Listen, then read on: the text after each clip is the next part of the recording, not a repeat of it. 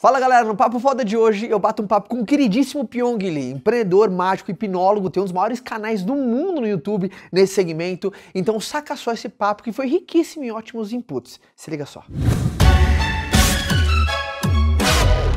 Eu entrei no mundo do empreendedorismo em 2017, janeiro, quando girou a chave na minha cabeça com o livro Bilionários, do Ricardo Jeromel. Uhum. Girou a chave assim e 2017 comecei a voar, com os negócios de mentores, eventos, o caramba, mastermind.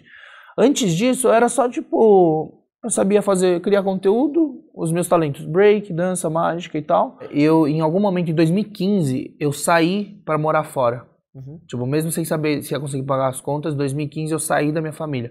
E foi uma coisa muito necessária. Porque como hoje eu estudo evolução humana, desenvolvimento humano, é, o meio influencia muito a pessoa. Então, se eu tivesse contaminado pelas amizades antigas, ou Boa. pela família, pelas crenças limitantes que eles tinham, que a gente cresce aprendendo, principalmente a gente que nasceu em meios de dinheiro que é problema, endividado e tal, a gente ouve, ouve, cresce ouvindo dinheiro não traz felicidade, que dinheiro é sujo, que dinheiro que, que rico não vai pro céu, que rico é tudo tudo cuzão. então tem várias crenças que são instaladas e viram uma bola de neve. Uhum. Aí o seu subconsciente ouvindo fica apavorado com o dinheiro. É então ele começa a te afastar do dinheiro. Tanto que você vê que tem gente com comportamento que não consegue. Não é o fato de ganhar dinheiro, é o comportamento do cara. Então, se ele ganha mil reais, o cara está endividado.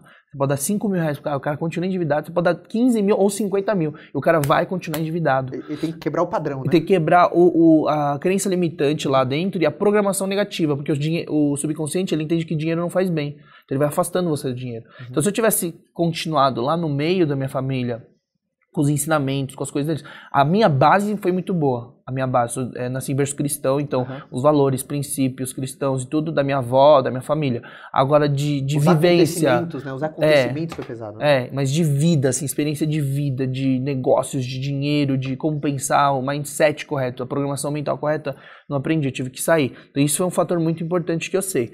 Outra coisa é que eu, eu sentia algo dentro de mim de que, putz, eu, eu nasci para ser diferente.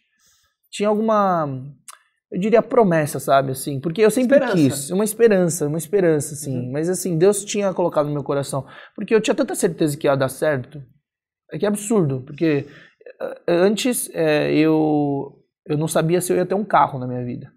Tipo, eu não sabia, eu ficava pensando, caraca, eu vou começar ganhando 700 reais, que era o salário mínimo na época, Falei, como eu vou ganhar, comprar um carro de 30 mil? Eu falei, que absurdo, não tem como. Como é que as pessoas compram um carro? Eu não sabia que existia parcelamentos, caramba tal. Mas eu nunca, eu nunca achei que ia ter um carro. Só que eu tinha certeza que ia dar certo. E uma coisa que eu ficava inconformado era assim, ó. É, que eu me questionava constantemente. Cara, não tem como a vida ser uma merda dessa. Tipo, não tem como a vida, a vida ser só isso. Boa. Falei, eu, eu sei que tem que ser, tem como ser diferente. Uhum. Eu não sei como ainda, mas eu vou descobrir. Mas minha família foi contra. Eu apanhei quando eu falei que ia ser mágico profissional, apanhei, rasgaram meus baralhos. Então eu era visto realmente como uma ovelha negra, não da comunidade, da minha família mesmo. Uhum. Tipo, um irmão mais velho. Já perdeu pai, mãe, família toda fodida, esperança da família. Aí, em vez de estudar, aí fica fazendo mágica. Aí depois vem e fala, vou fazer videozinho pra internet. Numa época que ninguém tinha 3, 4 youtubers grandes e ninguém ganhava dinheiro com isso. Aí eu falei, vou fazer vídeo pra internet. Aí ó, que vagabundo, de novo com a, com a historinha. Aí depois eu entrei, Aí eu saí do YouTube, saí de casa, aí a hipnose não foi uma coisa que eu fui lá falar. A hipnose foi uma coisa que aconteceu depois que eu fui ah, é? descobrindo. É, então eu já não estava em contato com a minha família tanto. Não que eu tenha me afastado por uma, ai, quero fugir deles. Não, eu amo muito eles, eu honro eles e quero dar o melhor para eles. Porém, eu não poderia ficar perto para eu não ter se conta, eh, ser contaminado por essa programação negativa. Então era isso, é inconformado o tempo inteiro. Pra quem não sabe o que é hipnose, porque a gente acha que hipnose é o é. é. O que, que é hipnose? Cara, hipnose é assim. Hipnose, hoje, eles não chamam de ciência, porém é comprovado cientificamente. A hipnose é uma ferramenta uhum. para acessar o subconsciente. A forma mais eficiente de acessar o subconsciente hoje é a hipnose. Tá. A hipnose ela acontece de forma natural no dia a dia com todas as pessoas. Então, seja uma propaganda, seja num filme, num momento que você está concentrado, ultra focado em algo. Uhum. Então, é uma coisa natural. Porém, existem passo a passo, em uma engenharia toda da hipnose, que, eu, que é o que eu ensino hoje no Instituto, que para você poder acessar o subconsciente de forma controlada, do tipo dar um controle para isso, dar um direcionamento, um foco e reprogramar a mente com crença limitante, com programação com transtorno psicossomático, então uma gagueira, compulsão alimentar, depressão, ansiedade, síndrome do pânico, tudo isso que as pessoas sofrem hoje é ultra tratável de uma forma rápida. 95, 98% dos casos. Porque eu falo, não é que a gente fala que toda depressão é tratável só com hipnose. Tem toda uma questão química também, existem mais de 10 tipos de depressão. Então tem a questão química, tem disfunção fisiológica, tem a questão da alimentação, intoxicação, infecção, inflamação. Então é um conjunto de fatores. Porém, eu vejo que a mais importante é a questão mental, porque o subconsciente ele vai aprendendo e aprendeu as coisas de forma errada. E ele está protegendo a gente. Então olha que louco. É, o vício de cigarro é uma proteção. O, a depressão é uma proteção subconsciente. O, síndrome do pânico, fobia social, fobia de altura, tudo isso é para proteger a gente. Só que o subconsciente foi ensinado errado. Uhum. A hipnose hoje é a, é a maior ferramenta de acesso ao subconsciente, para poder transformar o que você quiser lá dentro. E, e, é uma coisa que, independentemente se é um. Uh, hoje, é, é, sabe, é, é, o teu negócio, é o que você gosta de ensinar. Tem gente que acha que. Porque quando eu falo hipnose, acho que é muito difícil, é só para poucos. Ah, não, é. E ah, hoje, uma das suas, da, sua, da, da sua função é disseminar realmente. É isso. Né? Além de disseminar o tema hipnose, que foi feito de uma forma mais divertida e ampla com entretenimento, uhum. é, hoje é focado, na verdade a hipnose sempre foi focada na hipnoterapia, na hipnose como uma ferramenta de desenvolvimento próprio. Então existe auto-hipnose. As pessoas perguntam, mas você se hipnotiza? Eu falo, sim. É como se fosse uma meditação. Mas a meditação, ela demora para você chegar. Você fica num labirinto rodando, rodando e rodando. Com a auto-hipnose, você meio que pega uma ponte e você pula direto para dentro do subconsciente e tem um foco ali no, como sugestão, um objetivo específico. Então, é, nossa missão hoje é ensinar para qualquer pessoa que quer evoluir e quer tratar e ajudar outras pessoas. Então, hoje eu formo hipnoterapeutas. Qual foi o lance? Postei no vídeo do Celso Portioli, quando eu descobri que existia hipnose, eu falei, ó, quem precisa de ajuda, manda no e-mail aqui, ó. Eu criei um e-mail, falei, manda aqui Você no e-mail. várias habilidades, mas eu ainda não estava conseguindo transformar essas habilidades num negócio. Tipo, é, só que nem era meu objetivo. Entendi. Eu não queria, na época eu falei assim, pô, tô estourando de ganhar dinheiro com o YouTube. Eu crio conteúdo, vivo do jeito que eu quero e de uma forma confortável e custos baixíssimos. Uhum. Falei, por que, que eu vou fazer? Mas eu falei, pô, quero ajudar as pessoas. Eu descobri, quando eu descobri a hipnose, eu falei, cara, é a ferramenta mais incrível do universo, vai revolucionar a saúde mental e saúde física. Uhum. Tanto que estão é, vários médicos vindo pra gente, tem hospitais que estão usando. O último treinamento a gente teve um neurocirurgião do Albert Einstein. Então o negócio está ficando muito grande. Ele é especialista em controle de dor e dor crônica. E a hipnose consegue ajudar. As pessoas não sabem, mas existe um estado na hipnose que a gente consegue amputar um braço ou uma perna sem a pessoa sentir nada. Ah. Então é muito louco, as pessoas não conhecem. E isso tem mais, tem cirurgia catalogadas, tem o criador disso, o James Esdale, na Índia, em Calcutá. Então o conhecimento era muito disperso, aí o que as pessoas ouviam falar, botavam nos filmes, pica-pau, desenhos, séries, e tudo virou um preconceito em relação a isso, como se fosse um poder. Uhum. E não um poder é, é um tipo de acesso que ele tem. Como tem o hardware, o, a medicina conhece bem, muito bem o corpo, né? Não conhece o software interno. Então eles não conseguem acessar, eles têm teorias e tudo, né? Que tem psicologia, tem a psiquiatria, tem Freud, tem Jung, tem um monte de coisa. Só que eles não sabem, tá, beleza, o que a gente faz com isso? E aí, agora, acessar de fato e tratar, a hipnose vem como uma ferramenta. Então todos os conhecimentos que cresceram no mundo se juntaram com ela da internet. Então eu consegui estudar de tudo. Eu fiz treinamentos internacionais, nacionais, só de hipnose fiz 11. E de desenvolvimento humano depois fiz uma cacetada, né? O coaching, o PNL, a PNL nasceu da hipnose, na verdade, ericksoniana, né? Uhum. E aí eu fui evoluindo desenvolvendo. Mas o que aconteceu? Voltando, eu soltei um e-mail, eu falei, pô, eu conheço alguns que estudaram comigo, eu indico quem precisar. Meu, choveu e-mail. Mas ia mil e meio, dois mil, três mil, cinco mil. Aí respondia um, dois, três, ia mais cinco mil em cima. Acumulou 30 mil e-mails. Aí eu comecei a me desesperar. Falei, caramba, meu, tem tanta gente precisando. Eu me formei, não vou parar meu tempo para ficar atendendo, porque eu tenho um monte de correria para fazer. Aí posso indicar os outros? Eu falei, pô, tem uns 5, 6 que eu confio no Brasil. Pô, tô ferrado. Joguei uma bomba aí e dei uma luz no fim do túnel para as pessoas. Aí chegava e-mail falando assim, ó, tentativa de suicídio, depressão, não sei o que, há tantos anos com isso, síndrome do pânico. E eu respondendo, contratei uma pessoa também para responder, não dava conta, chegava muito em cima. Aí eu falei, caraca. Falei. Só um parênteses, você fez um trabalho muito legal no Setembro Amarelo, né? Eu fiz, fiz um evento. Setembro Amarelo, que era na conscientização da, da do, do, suicídio da, e tal. Suicídio. É, a gente fez um evento beneficente e chamou os terapeutas do Instituto Quasar para para tratar de graça. E galera veio de fora, pagou passagem, estadia para tratar pessoas assim de graça. É. Mas é, aí eu comecei a ficar preocupado, desesperar. Eu li alguns e-mails, outros não. E aí um e-mail girou a chave na minha cabeça, que foi ano passado. Eu fiquei um ano e meio, dois anos pensando e aprendendo. De 2017 para o final de 2018, conheci mentores, conheci a galera das startups, conheci masterminds, grupos, pessoas, empresários, bilionários, milionários. Comecei a estudar mais. Eu falei, cara, mas tem uma forma de automatizar isso e transformar em business. Mas será que é para mim isso? E aí eu falei, putz, mas eu que peguei a hipnose e joguei assim pro Brasil e a responsabilidade está na minha mão, querendo as pessoas estão confiando em uhum. mim. E aí chegou um e-mail de uma mãe falando assim, putz, minha filha tentou suicídio sete vezes, ela tem 22 anos, precisa de uma indicação. E aí demora pra gente responder, porque chega, quer responder uma, mas chega 20, 30, 15 em cima. Uhum. E aí eu respondi depois de umas, um mês que ela tinha mandado, falei, putz, mas, mas me fala de onde é para te indicar alguém. E aí eu lembro a resposta dela veio quando eu estava no avião, estava na janela do avião, no fundo do avião, voltando de uma palestra para São Paulo, e ela respondeu falando assim: "Obrigado pela indicação, mas é tarde demais". Aí a menina tinha se matado com 22 anos. Aí eu lembro que lá eu chorei pra caramba no avião, tanto que eu lembro exatamente, né, que estava na janela. E aí Deus tocou no meu coração e falou: olha, enquanto, enquanto mais você demorar para viver teu propósito e, e, tua missão de vida, mais pessoas estão morrendo, estão sofrendo com isso, que é a mesma coisa que seu pai sofreu. Uhum. Então tudo fez sentido ali. Meu pai faleceu por causa da depressão, eu passei por esse processo. O nosso sócio hoje que lançou o movimento Assuma o Controle e fez esse negócio do Não é o Fim, do Setembro Amarelo, fez uma série gratuita também. Ele também passou por suicídio e hoje está bem. Então a gente tem muito forte essa causa, né? O mal do século. Depressão, ansiedade. O Brasil é o primeiro país do mundo com ansiedade e o quinto país com maior número de depressivos. Por que então, você acha isso? É, cara. Por que você acha não? Por que, que é? Porque é assim? É, por que você acha cara, que o Brasil é não, é tão ansioso? Hum, cara, não é nem só o Brasil. O Brasil, na verdade, está em primeiro lugar por causa também do tamanho da população. É. Né, proporcional. Mas o mundo em si, com essa era da, das redes sociais, da tecnologia, é, dessas, tipo, um monte de coisa acontecendo e as pessoas não são ensinadas a, a blindar a mente.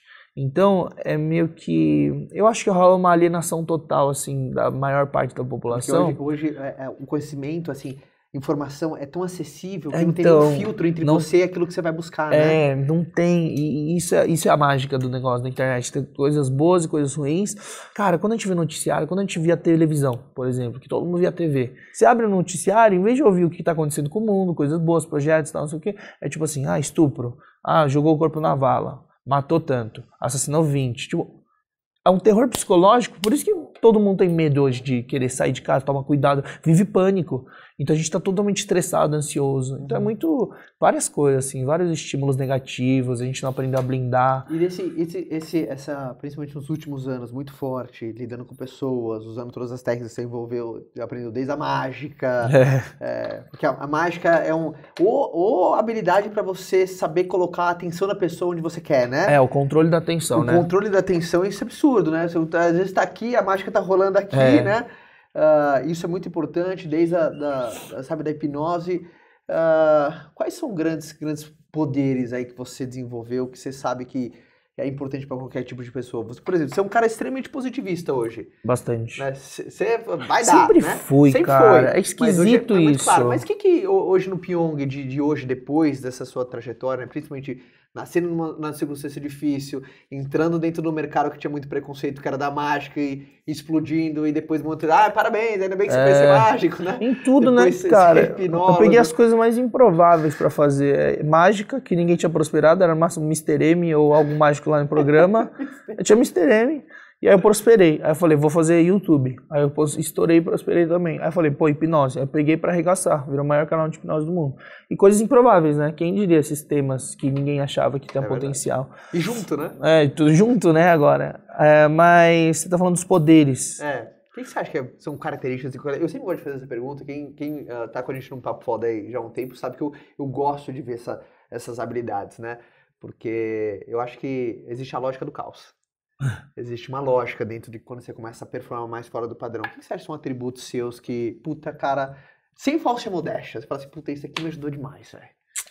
Isso aqui me ajudou demais. Cara, esse lance de não ouvir os outros e de continuar com a minha convicção do que eu queria fazer, isso me ajudou muito. Então, não ouvi das pessoas que nunca construíram nada e nunca fizeram nada. Não tem como as pessoas saberem. Mesmo tua família, não tem como saber se vai dar certo ou não, porque elas nunca fizeram. Então, eu não ouvia muito. Eu era meio rebelde, assim.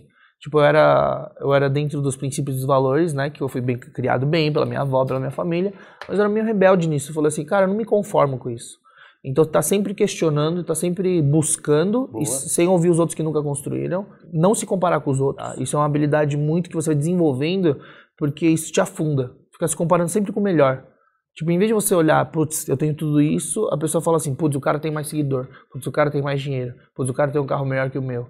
Entende? Ah, o cara tem um cargo melhor que o meu. Então as pessoas vivem se comparando com outros e isso afunda elas. Principalmente no segmento que tem exposição, né? É, principalmente seu, né? no nosso segmento. Por isso tem um monte de gente com dinheiro, jato, carro, não sei o que, tá em depressão, entendeu? É Ganhando rios de dinheiro, mas tá com depressão. É porque perde sentido. Mas eu vou te falar, a maior habilidade de verdade que eu vejo hoje é a questão de manter o equilíbrio dos três pilares, corpo, alma e espírito. É um tripé. É impossível você não. Cara, se você tem, você tem corpo, você tem o corpo, alma bem cuidado e não tem o espiritual bem cuidado, cara, isso aqui não sustenta. É tipo, é um tripé real assim, muito importante. E isso te dá uma sabedoria, uma inteligência suprema. Pode estar o caos, pode acontecer o que for, e você consegue manter uma plenitude. Para ter uma vida plena hoje, você precisa manter o equilíbrio. A falta ter cuidado do corpo, ter cuidado da mente, ter cuidado. Então, essas habilidades que eu considero básicas deviam ser ensinadas na escola hipnose é uma coisa para todos, é para qualquer tipo de ser humano. Porque se você entende como a mente funciona, você começa a se blindar para algumas coisas, parar de fazer certas atitudes, reprograma a tua mente. As pessoas ficam numa dicotomia como se tivesse que assim, esquerda ou direita. Não, pera, não tem que ser esses dois.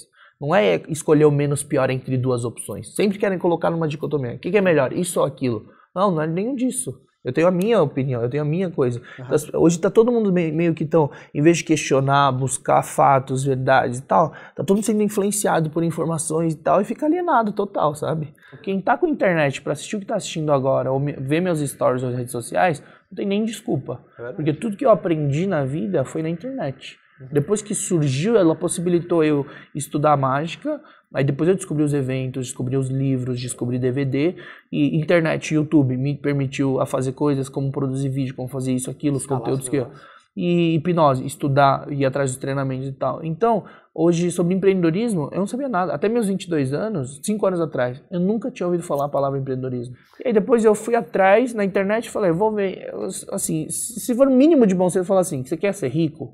Você tem que modelar ou você tem que saber quem é rico. Uhum. É, você coloca no Google empresários milionários ou empresários ricos, vai aparecer alguma lista, alguma coisa. Você vai bem, tipo, passo de. bem básico, sabe? Uhum. Eu comecei a ver palestras do Endeavor, Day One, do Flávio Augusto, Robson Shiba, Alexandre bom. Costa, do Cacau Show. Eu comecei a ver os nomes, Jorge Paulo Lemo e tal. Hoje eu acho um absurdo quem não sabe o nome de Jorge Paulo Lemo, mas a maioria não sabe, não faz ideia de quem é o cara mais rico do Brasil. Não sabe. Então, em média, 3, 4 horas, o brasileiro passa nas redes sociais tirar duas horas disso, metade disso, uma hora para você crescer, né, evoluir, estudar e outra hora você fazer alguma coisa produtiva.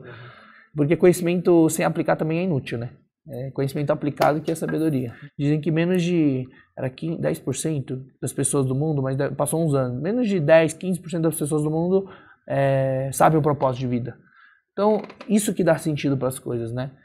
A inteligência suprema, a sabedoria vem e a plenitude vem quando você encontra teu propósito, assim, do porquê que você acorda todos os dias, do porquê que você existe hoje. Tanto que o mundo evolui todos os dias, né? O cara mais rico do mundo continua a ficar mais rico do mundo, ganha mais dinheiro, evolui mais, compra mais empresa.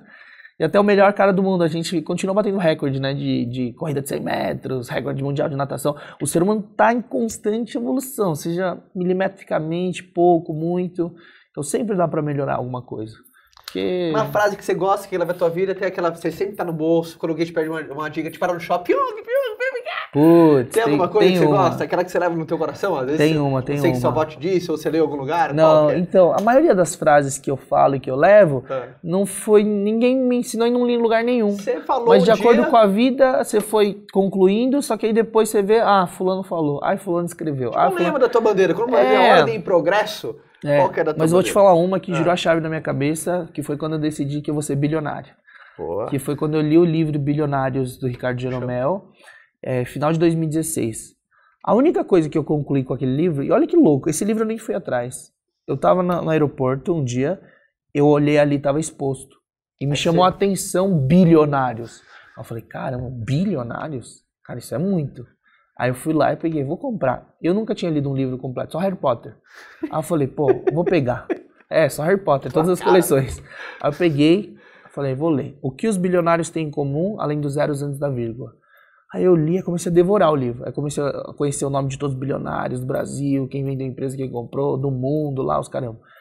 E aí a única coisa que eu concluí depois de fechar o livro foi assim: muitas pessoas, 60% dos bilionários, construíram do zero ou das dívidas. Eu tô na mesma merda de situação. Meu nome estava sujo até janeiro de 2017. Que meu tio sujou meu nome e do meu irmão. Aí eu limpei os dois. E aí, quando eu fechei o livro, eu falei assim, cara, mas se tanta gente fez, eu também consigo. E aí a frase que fica e que foi marcado para mim, que eu carrego para mim é: se alguém fez, eu também consigo, e se ninguém fez, eu serei o primeiro. Boa. Porque eu fui pioneiro em muita coisa. Na mágica, ninguém tinha prosperado no tamanho que eu fiquei. Até um ano atrás, eu era, uma, eu era o mágico com o maior número de seguidores do mundo. Uau. Então surgiu um, um só que tem mais seguidores que eu no mundo. É, o Julius Den, um americano que começou a fazer fora do Brasil. Então, do Brasil, eu sou o mágico com o maior número de seguidores do Brasil. Eu sou o único artista coreano, eu sou o coreano com mais número de seguidores. O único cara que foi capa da Forbes, o único hipnólogo capa da Forbes, o único coreano, o único youtuber. Dos youtubers todos, do maior, pode pensar, ninguém foi capa no Under 30. Eu fui capa da Forbes. Então, várias coisas eu fui pioneiro. Então, eu, te, eu levo esse lema para mim que tudo é possível até que se prove o contrário. Também. Eu falei que ia valer a pena. Obrigado. Valeu. Ó, Deus abençoe tua família, Amém. tua esposa, filhote que tá vindo aí. Sabemos que é menino, não sabemos o nome, ele vai revelar daqui a pouco, tá fazendo suspense. Cara, que era bom nisso. Ele tá fazendo a mágica. É. Tá conseguindo fazer a mágica de esconder, é, né? O nome, o é nome. É desafiador, né? É desafiador. É desafiador mas... porque a família quer saber, os amigos querem saber. Logo Enfim, a gente Vou desligar a câmera aqui, eu vou, vou arrancar dele aqui. E obrigado. Que tá? isso. O canal do Pião que tá aqui, acompanha ele. Além de, puta, fazer um trabalho super legal, um cara super do bem. E eu falo com o grande general aí desse exército de galera boa, galera do bem. Top. Beleza? Bora. No mais, até o próximo bate-papo, até um próximo papo foda. Tamo junto e nos vemos em um outro vídeo. Falou. Beijo. Tchau.